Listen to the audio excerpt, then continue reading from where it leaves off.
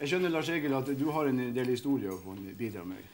Ja, jeg kan ta en historie først fra et, uh, som kan ha et sånt utspring fra et miljø som vi nå er inne i. Det var en, en, en fyr. Hvor han var ifra, det kan jo være det samme. Som havna på fest. Og det var ikke bare én fest. Det var kveld etter kveld etter kveld. Og kjerringa rasende.